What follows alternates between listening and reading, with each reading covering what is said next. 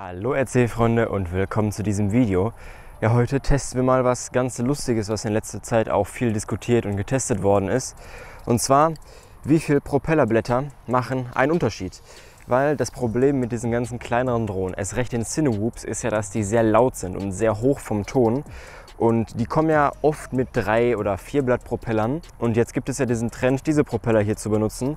Das sind HQ Prop 8 Blattpropeller. Die einzelnen Propellerblätter haben natürlich etwas weniger Pitch, aber trotzdem werden wir jetzt mal testen, wie das Ganze sich so verhält. Das ist 3 Zoll, das ist 3 Zoll. Das sind hier sogar die originalen Propeller, die zu der Diatone dazugehören. Und das sind Gemfan 3052R. Das heißt äh, 5,2er Pitch, was schon echt krank ist. Bei denen hier steht leider nur 76 mal 8. Ähm, ja, 76 auf den Durchmesser bezogen, 3 Zoll, weil das sind eigentlich eher so Cinewoop-Propeller, aber wir probieren jetzt trotzdem mal mit dem Diatone. Problem ist nur, wie man es hier vielleicht auch sieht, GPS funktioniert bei dem Ding immer noch nicht. Ich weiß auch nicht warum, jetzt ist schon ein neuer FC drin. Es will einfach nicht, keine Ahnung, ich habe es jetzt schon mit mehreren FCs, mehreren Modulen probiert, geht einfach nicht. Deswegen bisschen oldschool. Ich habe gerade hier auf der rechten Seite zwei Bäume vermessen, die genau 6 Meter voneinander entfernt stehen und dann werde ich jetzt hier gleich eine GoPro mit 240 FPS laufen lassen und dann ballern wir hier kurz mit dem Ding her und dann messen wir halt den Zeitunterschied Unterschied und gucken dann ganz grob, wie schnell die ist. Und dann äh, schauen wir mal, ob wir das vergleichen können, wie das mit den beiden Propellern ist. Aber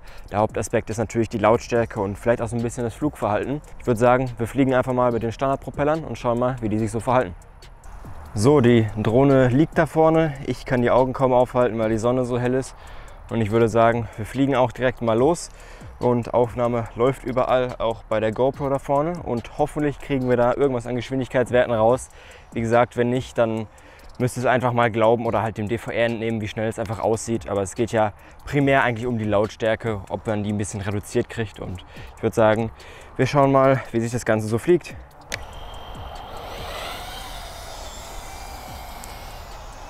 So, und schon geht's los. Ich muss auch sagen, ist schon länger her, als ich das letzte Mal mit dem Ding hier geflogen bin. Einfach weil ich immer Probleme mit dem GPS hatte. Deswegen nicht ganz so viel Bock jetzt hier mit dem Ding rumzuheizen. Die ist gar nicht mal so laut. Ah, jetzt ist nur wieder dieser komische Bug mit dem Bild. Ah, jetzt ist wieder da. Ich glaube, das liegt daran,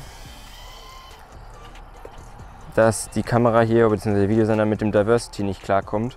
Ich wechsle das mal eben bei, bei der Brille. So, die Brille ist jetzt im Diversity-Modus gelockt. Das heißt, jetzt sollte das Problem mit dem Bild nicht mehr aufkommen. So, und bevor der Akku jetzt leer ist, würde ich sagen, machen wir jetzt mal den Test. 3,75 ja, 3,75 Volt ungefähr. Ich mache ich am besten von hier hinten.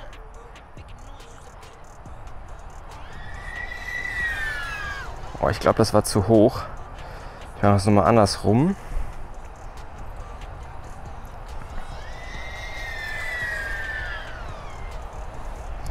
Das war auf jeden Fall besser. Einmal probiere es noch in die Richtung hier.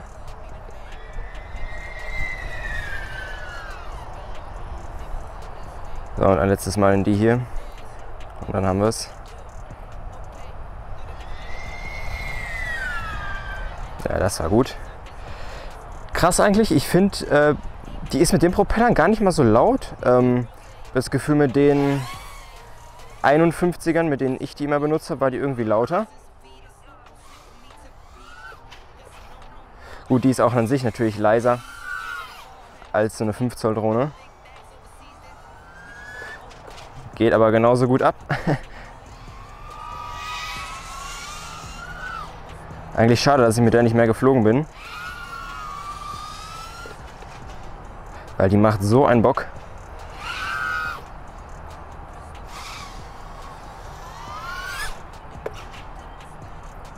Und vor allem das Geile ist, wenn man mit der halt einen Crash hat, die wiegt ja auch so gut wie nichts. Das heißt, da geht dann auch nichts kaputt. Der Akku hält relativ lang. Man kann halt durch viel, viel kleinere Öffnungen und so durchfliegen, einfach weil die Drohne selbst kleiner ist. Die ist deutlich leiser, unter 250 Gramm. Hui, das war knapp. Also ist echt mega das Ding. So, und ich lande jetzt auch mal hier. Okay, ja, Höchstgeschwindigkeit sagt natürlich jetzt nichts. Ähm, aber ich fand, die ist sogar relativ leise. Klar, diese Propeller sind auch eigentlich für Cinewhoops gedacht und Cinewhoops sind deutlich, deutlich lauter. Aber wenn wir hier einen Unterschied feststellen, dann stellen wir bei den Cinewhoops definitiv einen Unterschied fest. Und dann würde ich sagen, wechsle ich mal eben die Propeller, was jetzt vielleicht etwas dauern könnte. Und dann machen wir gleich den zweiten Flug mit den 8-Blatt-Propellern und schauen mal, ob sich da was verändert. So, Propeller und Akku sind gewechselt. Ist genau der gleiche Akku, nur halt einfach wieder einer, der voll ist. Und die Propeller sind auch drauf. Und unabhängig von Sound oder Geschwindigkeit, ich würde sagen, das sieht schon ziemlich cool aus auf so einer Mini-Drohne. So viele Propeller, beziehungsweise so viele Propellerblätter. Und ja, ich lege die jetzt mal dahin und dann schauen wir mal, wie sich das hier mit verhält. Wir machen das mal genauso wie gerade auch. Erst ein bisschen so durch die Gegend fliegen, gucken, wie das so vom Geräusch ist, vom Fluggefühl. Und danach, wenn der Akku auf so 3,75 bei wenig Gas ist, dann einmal durchziehen und dann halt einfach zweimal in jede Richtung. Und ich denke mal, dann sollten wir das hier ganz gut vergleichen können. So, die Sonne ist ein bisschen hinter den Wolken verschwunden. Gute Nachrichten für mich, vielleicht schlechte Nachrichten für euch, aber ich würde sagen, los geht's und wir schauen mal, wie das hiermit so fliegt. So, und direkt vorweg. Oh, das klingt echt mal komplett anders. Boah, wie soll man das jetzt beschreiben? Es klingt im Endeffekt nicht wie eine Drohne. Ich weiß nicht, wie man das beschreiben soll. Es klingt fast wie so ein so ein lauter Computerlüfter oder so ein Staubsauger im nächsten Raum oder so, keine Ahnung. Es ist ein etwas höherer Ton so gefühlt, aber sehr leise. Also ich ist jetzt hier direkt vor mir. Also ihr hört es ja, komplett anderer Ton.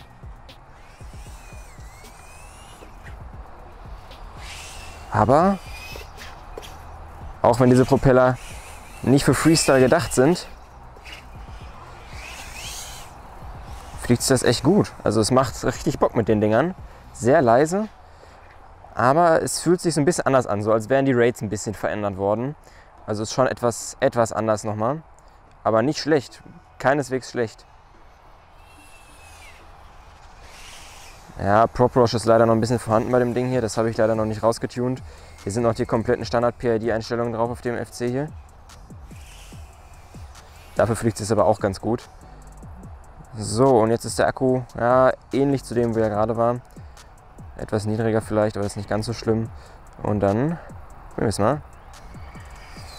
Holy shit! Ich würde sogar fast sagen, dass er schneller war. Und sehr leise. Nochmal zurück.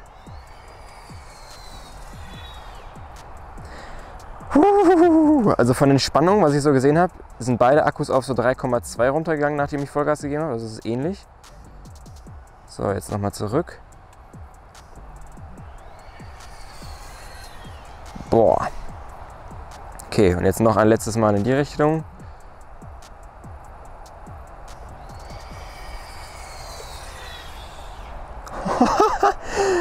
Alter Vater, ey, das ist echt krass.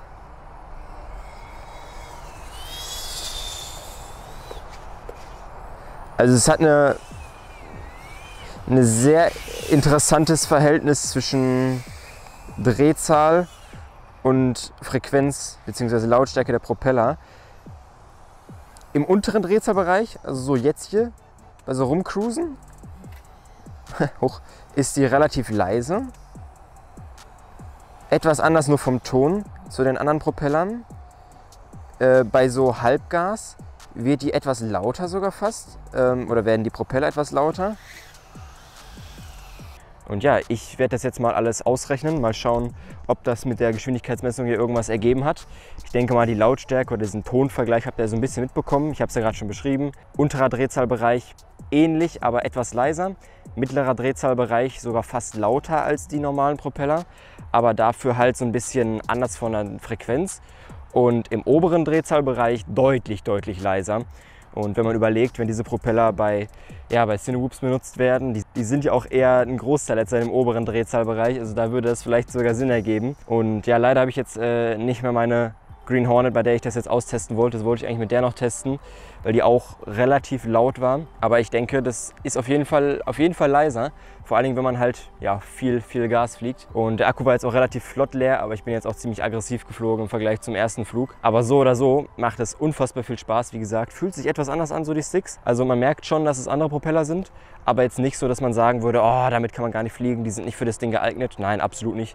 Geht vollkommen klar und macht so oder so ultra viel Spaß mit diesem kleinen Ding hier durchzuheizen. Vor allem, wenn man halt wirklich solche richtig kleinen Öffnungen mitnehmen kann. Wie gesagt, wir sind jetzt drin, wenn ich hier irgendwelche Ergebnisse habe.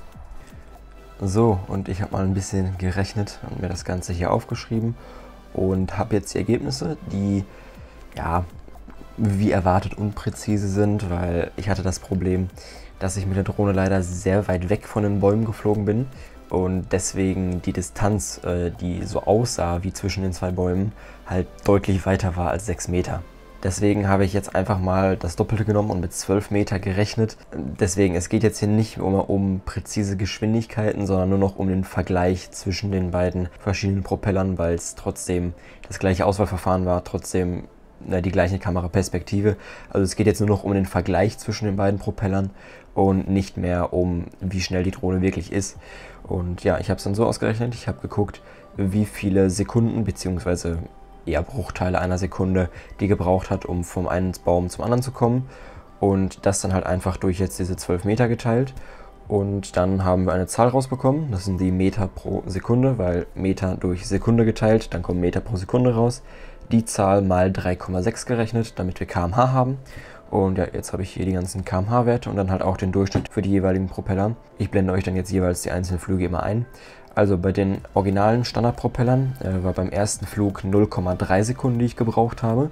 144 km/h. Äh, wenn es 12 Meter gewesen wären, wie gesagt, die einzelnen Zahlen selbst sollten jetzt nicht so ein hohes Gewicht haben. Es geht eher so um jetzt das Verhältnis zwischen den einzelnen Zahlen. Und wie gesagt, ist auch an sich sehr unpräzise. Also wenn jetzt hier mehr oder weniger irgendwas abweicht, nehmt es nicht zu hart.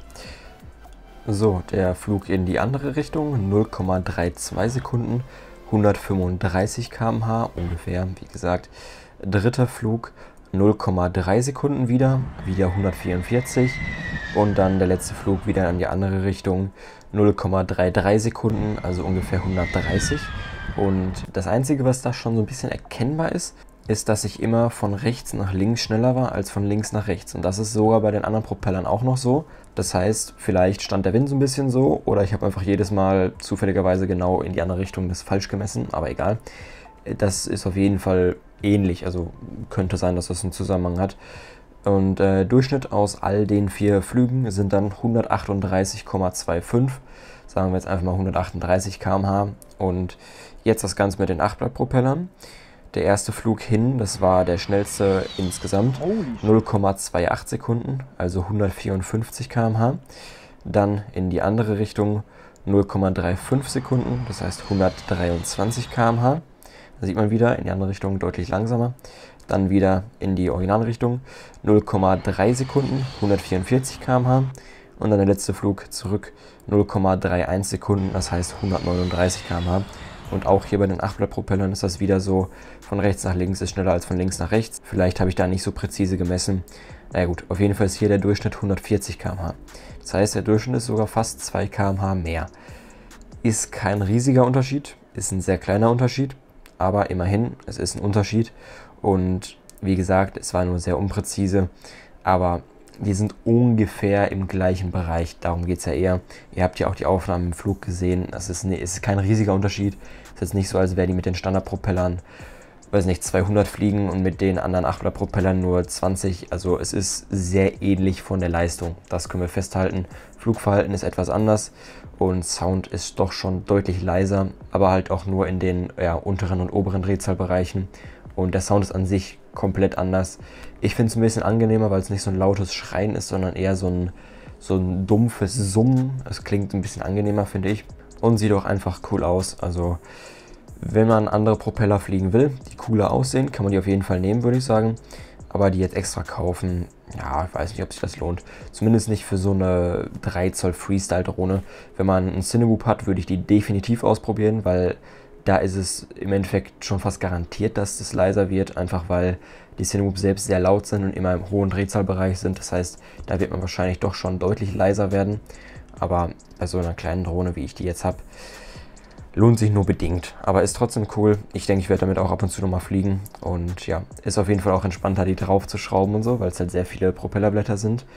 Aber trotzdem muss das jeder für sich entscheiden. Hier habt ihr jetzt den Vergleich gesehen. Und ich würde sagen, bis zum nächsten Mal und tschüss.